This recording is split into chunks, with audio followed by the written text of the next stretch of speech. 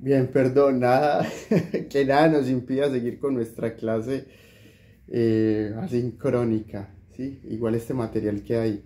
Decía, terminando el link anterior, el video anterior, que igual lo titulé Introducción, eh, que dentro de esa perspectiva de búsquedas y de críticas heterodoxas contra los núcleos hegemónicos también de la teoría social crítica europea, se ubica esta producción de marxistas, negras y negros del Caribe anglófono, que no solamente fue un movimiento del Caribe anglófono, es porque tenemos autores muy representativos en este caso que vamos a estudiar en este seminario, pero también hubo el Caribe eh, francófono, ¿no? Hay que recordar, por ejemplo, a MSC, a Igor Glizan, a Frankenstein, etc. Entonces, eh, bueno, y ni decir, por ejemplo, el Caribe hispano, Tendríamos que hablar de teóricas y teóricos críticos cubanos, etc. Pero en este caso nos vamos a centrar en el Caribe anglófono, una tradición que de hecho incluso parte de la justificación de la tesis de Daniel es que se ha conocido más producciones del Caribe francófono y el Caribe hispano, pero poco nada del Caribe anglófono, en parte porque han sido silenciados por las grandes metrópolis, incluso de conocimiento y de producción teórica crítica en los Estados Unidos y en Gran Bretaña, en Reino Unido. Entonces eh, ahí podría ubicarse este texto como un texto que eh, repiensa, critica, remetaboliza y propone una perspectiva de marxismo situado desde el lugar de enunciación de donde son estas pensadoras y pensadores negros que es el Caribe anglófono, el Caribe antillano en América Latina. Ellas y ellos piensan al marxismo desde ahí, ¿sí? Y la crítica fundamental que van a hacer al marxismo es que el marxismo no escapa a ser un pensamiento y una construcción teórica crítica, sí, pero eurocentrada, una teoría social crítica del norte colonial, y una teoría social crítica muy valiosa, pero que merece ser repensada desde el sur colonizado, desde las periferias del mundo, desde los lugares subalternizados y sobre todo desde los lugares que han sido y que han sufrido la huella colonial, el trauma colonial, que han sido colonias de todo ese primer mundo y de la metrópoli colonial como la del Reino Unido, la de los Estados Unidos, la de Francia, la del mundo europeo, etc. Bien, entonces, dicho esto, vamos a entrar. Nosotros vamos a entrar a este libro. Hay, bastantes autores que Daniel nos presenta acá, el autor. Nosotros solamente quisimos eh, como tomar dos autores muy representativos, por supuesto hay más, pero bueno, este es un seminario que como dijimos en nuestro primer encuentro, es un seminario acotado, es un seminario que, digamos, eh, un seminario caja de herramientas donde Vamos a tratar de profundizar en los temas, ustedes echarle mano a lo que les sirva y por supuesto en sus trabajos de investigación, de búsquedas personal, de construcciones teóricas o lo que ustedes crean que les sirve, pues ya habrá una tarea de profundización de cada uno y cada uno, al menos mostrarles la puerta, que ustedes tengan herramientas para abrir esa puerta, transitar un poquito y que en adelante ustedes ya logren transitarlo cada uno y cada uno en esta perspectiva. Bien, en esta perspectiva decía, es que queremos proponerles este estudio. Eh, nuestro primer eh, autor que queremos exponerles acá es a Oliver Cooks, que, repito, ustedes lo tienen en el aula virtual. El texto de Oliver Cooks es el primer capítulo del libro, que se llama Sistema Mundial. Fíjense que Oliver Cooks eh, bueno, ya voy a hablar un poquito de Oliver Cooks, pero quería decir simplemente, y esto igual ahorita lo voy a mencionar en la exposición, pero el, primer título o el título de Oliver Cooks como su, categoría central eh, de pensamiento es el sistema mundial. Habla del capitalismo globalizado eh, como un sistema mundial, o habla del capitalismo como un sistema mundial, un sistema mundo se les parece mucho a esta categoría que usa Wallerstein o Wallerstein. Eh, el profesor americano que habla del sistema mundo que ha sido muy utilizada y sigue siendo utilizado en los estudios críticos en América Latina y uno le escucha a muchas personas y de vuelta los créditos a Wallerstein, eh, sí, que habla del sistema mundo y todo bien con Wallerstein, eh, eh, sí, hace desarrollos muy interesantes utilizando esta categoría, pero esta categoría ya la utilizaba alguien antes de él, que es Oliver Cooks y que es un pensador negro afro-caribeño del Caribe anglófono. Bien, ¿quién es Oliver Cooks? Oliver Cooks es un intelectual que nace en Trinidad en 1901, Trinidad y Tobago, y muere en Detroit, en Estados Unidos, en 1974. Eh, Oliver Cooks es un migrante, digamos, es un migrante que llega a los Estados Unidos, se doctora en sociología en la Universidad de Chicago y el tema central de su trabajo es la relación entre capitalismo y racismo, precisamente. Debido al racismo estructural que se sufría en los Estados Unidos, recuerden ustedes la situación que vivían en ese todavía viven, pero la época en ese contexto particular que vivían las personas negras en los Estados Unidos, pues era tremendo, eh, un racismo así frenteado, puro y duro, y bueno, a él le tocó toda esa parte en los Estados Unidos, estamos hablando de los años 50, eh, y debido a ese racismo estructural, pues en los Estados Unidos él solo pudo enseñar en escuelas negras. Recuerden que los negros en Estados Unidos tenían sus propias escuelas, sus propias universidades, una especie de apartheid. Eh, y él pudo, bueno, primero, ya incluso como doctor en sociología, eh, pudo enseñar en escuelas negras, después tuvo salarios muy bajos y enseñó en condiciones realmente precarias. Eh, y luego, cuando ya se puede sentar a escribir y hacer su producción intelectual, lo hace porque ya es profesor de la Universidad de Lincoln en Oakland. Eh, ahí puede ya, digamos, sentarse a producir. Bien, ¿por qué es importante Oliver Cooks en la teoría crítica hoy? Pudiéramos decir, abrir con este interrogante. Eh, Oliver Cooks es importante por varias razones. Vamos a enumerar inicialmente cinco razones. La primera porque antes que Wallerstein, que Immanuel Wallerstein, Cooks ya proponía el concepto de sistema mundo para comprender al capitalismo global. Fíjense en eso. Lo segundo, porque concibe la categoría raza como un elemento fundamental del capitalismo, cuya tarea es la aceleración. No es algo accidental, la construcción de raza, un efecto o, una consecuencia, no, no, no. Para él la raza es algo reinventado, eh, reconstruido y transversal, fundamental en la construcción del sistema capitalista. Entonces la raza es constitutiva, tres, para él, del capitalismo, eh, y esta existe entonces porque el capitalismo existe, ¿no? Para Cooks eso es muy importante. Eh, casi como si sentenciara que si desaparece el capitalismo, al menos el racismo estructural, ojo, estructural desaparecería. 4. Propone la antinomia centro-periferia, fundamental para comprender la relación del trabajo en el capitalismo. Ustedes recuerdan que hace parte también de la teoría después que desarrolla la CEPAL en América Latina, que es la teoría de la dependencia, donde habla que nuestro subdesarrollo como región no se debe a un estado transitorio al cual después nos vamos a desarrollar, sino que es un estado perpetuo porque el capitalismo para tener sus centros y sus metrópolis y su centro fuerte y producción de riqueza necesita construir márgenes y periferias. Eh, algo así como que el centro de las metrópolis capitalistas no puede existir si no existen márgenes y periferia. Bien, él ya proponía un poco eso. Y quinto, el desarrollo del sistema capitalístico o capitalista es cíclico, progresivo y terminal. ¿no? Ahí ya está hablando de lo que muchas teóricas y teóricos van a después hablar de las crisis cíclicas del capitalismo, que también lo plantean marxistas.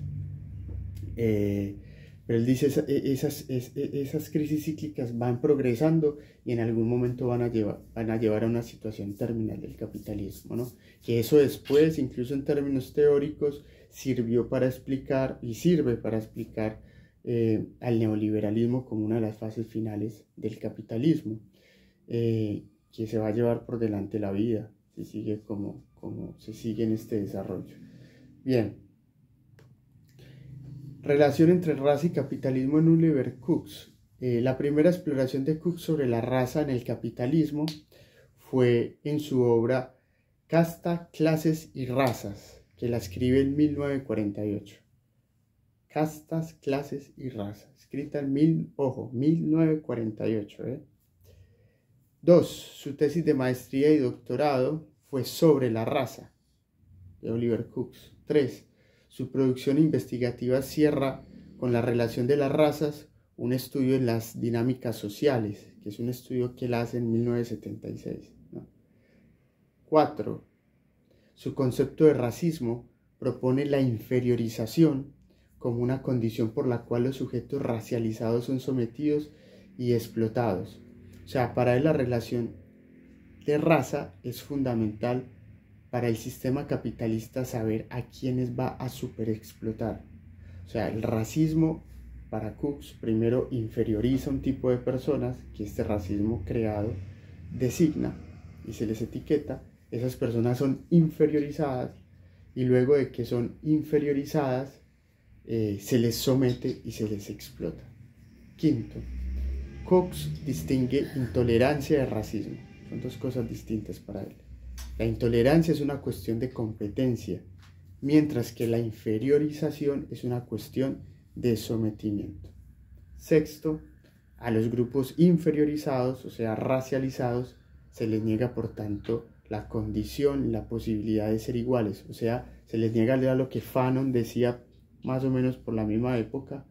Va a decir Fanon que el racismo realmente niega el marcador de humanidad, ¿no? y que hoy se toma mucho en la perspectiva crítica del estudio sobre racismo desde América Latina. Los racismos niegan, inferiorizan porque niegan la condición de humano de ese otro racializado. Y séptimo, a los inferiorizados, o sea, racios, racializados, se les somete a trabajos que nadie quiere hacer. No se busca el exterminio, y él ahí hace en ese estudio muy interesante entre sus tesis doctoral y sus producciones, él dice que en el racismo como inferiorización no se busca el exterminio, como fue en el caso del etnocidio, que él define como etnocidio en el caso judío en la Segunda Guerra Mundial, sino que el racismo como inferiorización, distinto al exterminio, lo que busca en el sistema capitalista es crear bases, bases sucias, digamos, para sostener al sistema, para la explotación. Bien. Ni modo de decirles si tienen una pregunta, un comentario, pero bueno, pueden escribirle después en el foro, ¿no? Eh, para Cooks el racismo nace en la modernidad, no en la antigüedad. Esto es muy importante. La esclavitud no pasaba por la raza, va a decir Cooks teniendo el color de la piel como marcador de diferenciación y deshumanización. Y en eso es un adelantado a los estudios de racismo actual, ¿sí? Que el racismo y las estudiosas y estudiosos del racismo desde la época de la colonia dura, desde el siglo XV hasta pasando a la modernidad hasta nuestros días, van a decir, ah, pero es que el racismo colonial y moderno tiene el marcador de piel al color como, como digamos, un instrumento fundamental para su construcción. Eh, bueno, ya Cooks en el 48, en los 50 ya lo decía, ¿sí? Decía, lo que pasa es que otros, otras culturas antiguas tuvieron esclavitud, pero lo que pasa es que no se les negaba su condición de humanidad, ni pasaba por el color de la piel. Bien, 9. El protorracismo, o sea, un primer racismo, él va, va, va, va a rastrearlo en que se da después de la caída del Imperio Romano con las cruzadas, o sea, tiene un origen religioso, pero es incipiente allí todavía el concepto de raza. Si se les parece, sí, ya se lo decía antes de Foucault. Foucault tiene una obra fundamental que se llama La genealogía del racismo, ¿cierto? Donde además explica muy bien el método que él utiliza en su segunda producción intelectual, que es la genealogía, la primera la arqueología, y cuando él entra a explicar el racismo en la genealogía del racismo, Foucault apela a la explicación étnica religiosa de Europa en la construcción del racismo. Bueno, ya Cooks lo decía en los 40, en los 50. Según Cooks, el racismo nace con la conquista de América, ¿no? Esta afirmación la hace en 1948, ojo, en su libro Castas, Clases y Raza. ¿A qué se les parece? Que 30 años antes, 40 años antes de Quijano, ya Cooks lo afirmaba, que el racismo, como lo conocemos en la modernidad, nace con la conquista de América. Ahí tenemos un fundamento de lo que es la teoría de colonial, ya enunciada por un teórico negro marxista anglófono del Caribe antillano, colonia británica, en 1948, en su tesis doctoral. Bien. Señala la controversia de Valladolid. Fíjense esto. Controversia de Valladolid que es en 1550. Recuerden que se enfrentan de las casas el fraile dominico con Sepúlveda. Y tienen ahí una controversia y van a intentar definir si el indio eh, es ser humano o no. ¿no? Y cómo se va a justificar su sometimiento. Bueno, ese que es un gran, hoy diríamos, relato que utiliza el pensamiento crítico, incluso de colonial, el pensamiento crítico en contra de la colonización, en estudios también incluso postcoloniales, ese relato ya lo planteaba Cooks en 1948. ¿eh?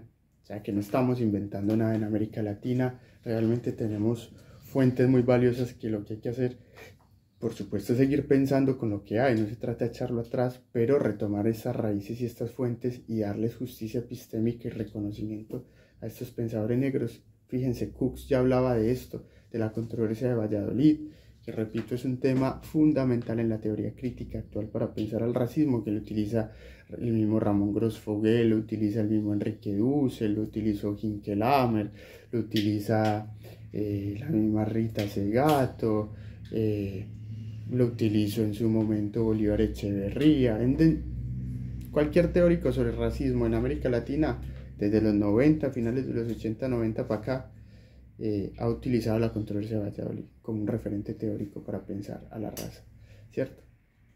Bueno, ya Cooks lo hizo en el 48. Bien, en la época de la colonia se necesitó procesos de interiorización, de subjetivación, para justificar al racismo hubo primero que justificar una raza superior a las demás, refinar la teología cristiana, dice Cooks, y construir discursos humanitarios. ¿Qué es esto? Eso es pensamiento crítico actual. Bueno, no, es Cooks en 1948. 12, perdón, 13. Para el siglo XVIII y XIX va a decir Cooks, ya hay un sistema mundial. 1948. Oliver Cooks va a decir, en 1948 que para el siglo XVIII y XIX ya hay un sistema mundial que se sostiene por el sometimiento de poblaciones a la esclavitud y que esa explotación lo que busca es inferiorizar para deshumanizar y que eso se da tanto en las colonias como en las metrópolis de ese primer mundo colonial moderno. 1948, Oliver Cooks. Bien, con la raza, según Cooks, se pueden diferenciar grupos y esto es funcional, porque recuerden que el capitalismo divide, categoriza, jerarquiza y en la jerarquización pone a unos arriba, otros abajo y justifica que los de arriba exploten a los de abajo y los de arriba se sostienen por los de abajo y es una pirámide. Así funciona el capitalismo en imágenes muy rápidas. Él dice, bueno, la raza también es, entre otras cosas, funcional al capitalismo porque le ayuda a esa organización. Entonces diferencia por grupos. Y esas diferenciaciones son étnicas, lingüísticas. Y ese racismo capitalista utiliza marcadores visibles, como el color de la piel, pero en un momento seguramente ya no va a ser el color de la piel, como lo es hoy en el capitalismo, sino por otros por otro tipo de dispositivos que no pasen por ahí, que pasen por tipos más comportamentales, que si se sujetan o no a un modelo de hombre o de mujer blanca o no por comportamientos, actitudes, eh, adquisición económica, posición social, etc. El capitalismo muta, pero esto que es fundamental del racismo, que es clasificar, jerarquizar, organizar, asignar valores y justificar la explotación a través de esto, ese capitalismo, decía Oliver Cooks, busca marcadores para hacerlo visible. En un momento fueron los cuerpos negros, los cuerpos de los indígenas, lo que no era blanco en marcador de piel fenotípico, pero otro día va a ser otra, otra forma. ¿no? 15. Sin el racismo, el capitalismo no hubiera entonces, para él, claramente, a ver, no, hubiera sido un sistema mundial, hubiera sido un sistema eh, europeo, ¿cierto? Eh, de un lugar concreto, pero mundial, dice Oliver Cooks, a lo mejor no. 16. También el racismo en la clase obrera jugó un papel fundamental, dice él, y ahí va a ser una crítica muy interesante. Va a decir lo que pasó con el racismo en la clase obrera, perdón, muevo acá un poquito la cita, gracias. Lo que pasó con el racismo es que no solamente sirvió para que hubiese una superclase explotadora y otra mm, millones de personas explotadas por su color de piel, su condición étnica, su origen étnico, etcétera, que construye el racismo duro, eh, sino que también en esos cuerpos racializados la subjetivación, hoy diríamos utilizando esta palabra, fue tan profunda que entre los mismos obreros negros ese racismo logró desunirlos, romperlos e impedir su cohesión. Para Cox el problema de la raza entonces es un problema de clase.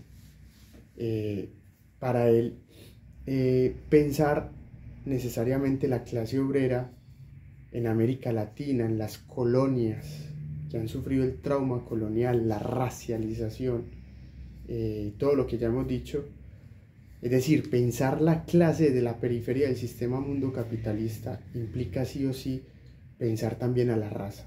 Clase y raza deben ser, eh, deben ser inseparables para pensar luchas emancipatorias, antihegemónicas, eh, etcétera, ¿no? antipatriarcales, etcétera. Pensar la clase y pensar la raza juntos. Algo como lo que dice Mara Viveros, que dice que que, es una pensadora colombiana, una mujer negra, y dice Mara, la profesora Mara, que la pobreza tiene color, ¿no? La pobreza tiene color y uno lo vive y ustedes lo viven, yo lo he vivido acá en Argentina, ¿no? Cuando se dicen negros de mierda, ¿quiénes son esos negros de mierda? Son trabajadores, son laburantes, ¿no? Cuando las clases altas se han llenado la boca, yo lo he encontrado, por ejemplo, en la investigación de lo que iba investigando en mi tesis doctoral, en los periodos dictatoriales, cuando se habla de, de que no, Argentina es un crisol de razas, acá no hay racismo, acá todos caben, fíjense los trabajadores, pero por allá un dictador dijo alguna vez, la NUCE concretamente dijo, no, sí, porque bueno, el peronismo lo que pasa es que se sostiene por todos estos negros de mierda, que igual se les respeta los derechos, aunque en Argentina no hay negros, decía él, pero dice estos negros de mierda. O sea, estos obreros, eh, eh, ese mundo obrero que es racializado. Pero aún más, ya en el campo más teórico, esto sirve para pensar a la blanquitud, ¿no? La relación, por ejemplo, que tiene la raza con la clase, se me está ocurriendo ahora, ¿cierto? La obra emblemática de, de Bolívar Echeverría, de cómo hay una transición entre lo racializado y la clase, ¿cierto? Como para el capitalismo realmente lo que importa es construir modelos de blanquitud, como ya decía Oliver Cooks, y retoma Bolívar Echeverría, que aparte fue uno de estos intelectuales heterodoxos en los años 60 en la Berlín destruida posguerra, eh, que repensaban críticamente en especie de guetos y, reuniéndose en cafés todavía con ruinas encima, la Berlín eh, oriental y después occidental, eh, repensando el marxismo, decía Oliver Echeverría llegaba a estas conclusiones que ya también las pensaba Oliver Cooks, que las pensaba antes Oliver Cooks de cómo en el capitalismo la clase hace una transición hacia la raza y cuando ya no le sirve la raza, pues utiliza la clase y va y viene como un péndulo, o a veces se utilizan las dos. Bueno, entonces el blanco explota al trabajador de color inventándose, dice Oliver Cooks, la diferenciación e diferenciación racial. La raza, por tanto, para Cooks es un invento para la superexplotación. Bien. Eh, yo igual les voy a compartir estas diapositivas, las van a tener ahí, esto que acabo de leer, yo lo tengo en una presentación, eh, ustedes van a poder verlo con más detalle, hay unos videitos en la presentación muy cortos como para ilustrar lo que se expone en, las, en la presentación, que sirve de complementación. Eh, y listo. ¿Vale? Creo que es muy valioso eh, y como tres conclusiones básicas para terminar es eh, vimos la relación que ya planteaba Oliver Cooks en su construcción de la raza y la clase en relación con la teoría crítica actual. Vimos también la relación conceptual entre raza y clase. Y tercero, eh, sería muy interesante, y eso ya sería más como una pregunta para que se lleve cada uno y cada uno, pensar cómo nuestra vida cotidiana, en nuestro quehacer laboral, académico, de reflexión, pero también en todas las cosas que hacemos, aparece esta relación de raza y clase, concretamente acá en Argentina, en Buenos Aires, en donde estemos. A veces como aparecen esos marcadores que asocian a la raza a la clase, la clase a la raza, en un sistema claramente capitalista en el que vivimos. ¿Vale? Bueno, eso era lo que les quería compartir. Un buen trabajo.